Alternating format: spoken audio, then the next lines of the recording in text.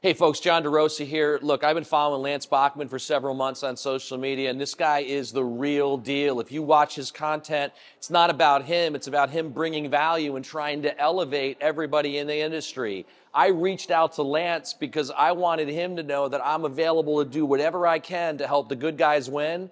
And I think LB Capital and all the companies that they're partnering with, they represent the good guys. We spent a few hours today talking to the sales te- team about how they can elevate their sales performance and enjoy an even higher level of sales success. And we spoke a lot about the importance of being accountable, accountable to one another so that we could help this company get to an even higher level. Look, it was nothing short of a privilege and an honor for me to invite, be invited out to their new corporate office, even though it's still in the process of being built.